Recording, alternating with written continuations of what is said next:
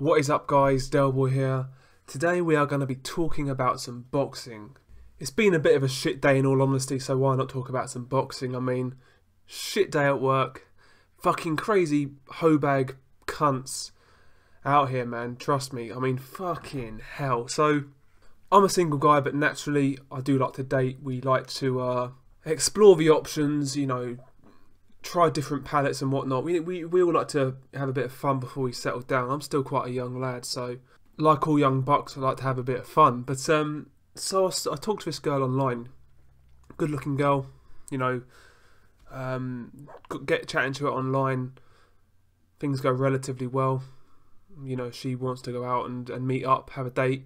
So I take her to an Indian restaurant in my local town you know, really good reviews, expensive. I thought, do you know what, we'll, we'll take somewhere nice. And the first thing I notice about this bitch, she chooses the most expensive thing on the fucking menu each and every time for starter, for a main, and for the dessert.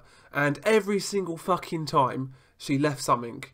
So that is the first thing that wound me up. Like, she's picking the most expensive shit on the menu, and she's leaving shit each course, yeah? So that wound me up for a start. And immediately I could just get the vibe that this fucking bitch was a fucking high maintenance, just, you know, one of those type of girls you need to speak to every two minutes to make sure she's happy and whatnot. And that's not me. Um, so I, immediately I see that she's a high maintenance type of girl. She's got expensive tastes. I get talking to her about random shit, and uh, she's saying how how she likes to eat out a lot. She likes to um, you know, eat in different restaurants, try different things, which is all well and good. But she tells me that oh, she doesn't know how to cook, and um, she doesn't like cooking. She doesn't see why she should do it, and all that nonsense. Um, firstly, man, if you can't cook, I am not going to get in a relationship with you. I mean, that's disgraceful, man. I mean, people in their early 20s can't even fucking cook. This stupid cunt could probably barely turn on an oven. She's that kind of um, up self and um, and we, we get we get talking about all sorts. And I was saying about how um I'm looking to sort of you know I'm I'm kind of saving for my deposit for my first place and whatnot. And she's like, she kind of said that basically, oh, she doesn't save. She lives for the moment. Basically, lives paycheck to paycheck. And I don't want to be hearing this shit on a first date. Anyway, she she was a decent looking girl, and actually she put out first date, which is fucking surprising. Um, but she puts out and after that, I kind of stopped talking to her. You know, um, I replied to the odd text here and there because um, at that at that stage I was kind of debating whether I wanted to go back there at all or whether I just wanted to go back there just for a, a couple of more, you know, free shags basically. And uh, I decided against it because I just didn't like her. Um, a good looking girl, but I just didn't like her. So I decided to leave it at that. But anyway, after a few days, she fucking starts to send me random texts, keep on trying to call me. She then proceeds to call my fucking work to try and get in touch with me, and it's just fucking, it's insane, man. And I've blocked basically all of her fucking numbers. She doesn't know where I live, which is good. Um, and I'm hoping this shit is gonna blow over, man. I mean, there's some fucking crazy people out there. How the fuck can't someone in their early 20s know how to cook? She can't fucking cook. She has no concept of saving money you know, um, some some people, man, my age, my generation, are absolutely fucked, to be honest. Um, and that's why, right now, I really can't be asked to even try and get a fucking uh, girlfriend right now. To me, might as well just play the field for a bit, see what happens. If we meet the one, we meet the one. But I'm in no rush, man. Fucking hell. Listen, man. These fucking universities need to be fucking teaching courses on budgeting. Trust me, man. So many people my age can't fucking look after their money, and it's not even just my age. To be fair, a lot of people can't look after their money. You know, people are so materialistic, man, and it's, it drives me insane, man. Drives me insane. But um, we've gone off on a massive, massive tangent, haven't we? Let's talk about Joe Joyce versus Lenroy Thomas. This fight is possible for the undercard of David Haye versus Tony Bellew too, and I wanted to share my brief thoughts on the fight. I actually really like the fight for Joe Joyce. This would be Joe Joyce's fourth fight, and for my money, the toughest fight of his career so far. As we know, Joe Joyce took on a really good debut opponent in Ian Lewison. He won that fight quite handily, but Ian Lewison did take him a few rounds. After that, he fought a guy called Rudolf Josic, who wasn't any good at all. And after that, he fought a guy called Donny Palmer. So after the Ian Lewison fight, Joe Joyce has struggled to get top opponents.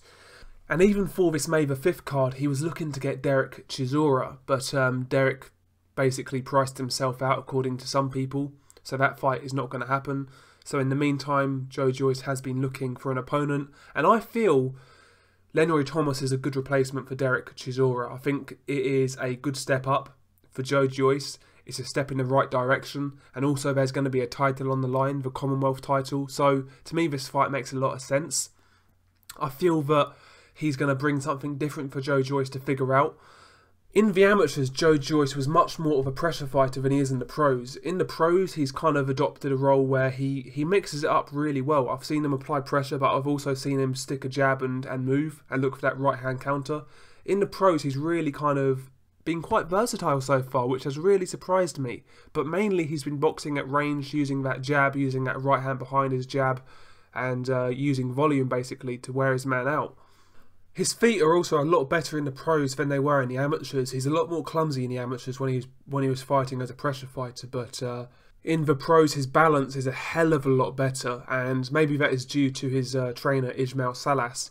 You know, Salas is a very good trainer, trained some some world class fighters over the years, so you'd think that Salas would be looking at Joe Joyce's feet, and that's the first thing he's going to kind of correct. And I feel since he's turned pro, Joe Joyce's feet, his balance, his footwork has been the most impressive improvement so far. I wasn't really expecting this type of fighter when Joe Joyce turned pro. I was expecting a, just a pure pressure fighter, really.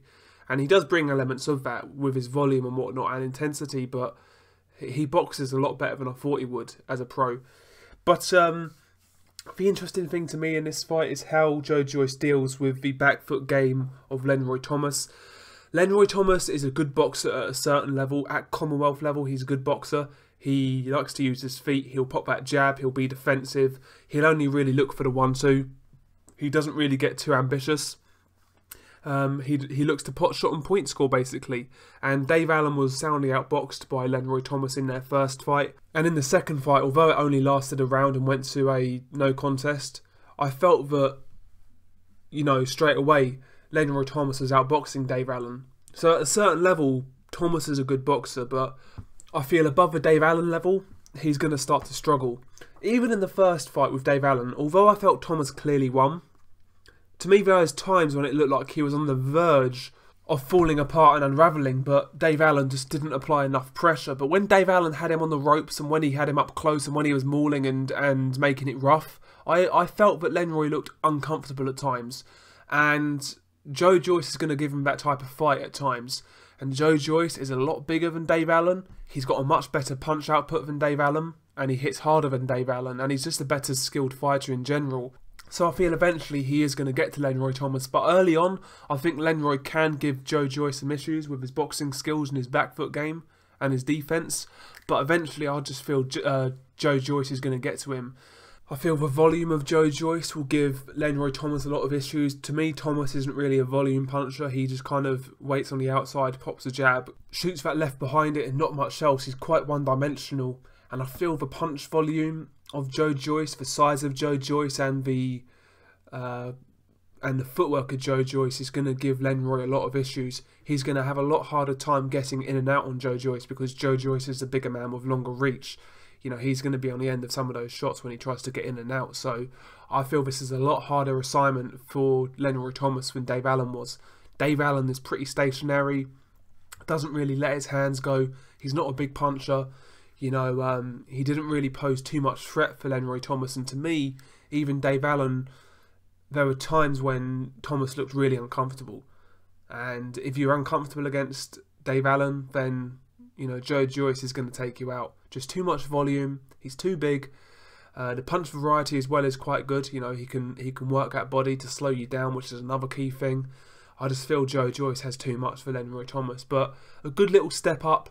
It's going to show him a few different things in the ring as a pro. You know, he's not really fought a mobile boxer so far. All of the guys he's fought so far have been flat-footed plodders. So I feel Lenroy is going to bring something different, and it's a good bit of matchmaking for Joe Joyce before he really steps up. I feel this is a good bit of matchmaking, and also another thing, Lenroy Thomas is known in the UK because of the Dave Allen fights, so it's an easy sell.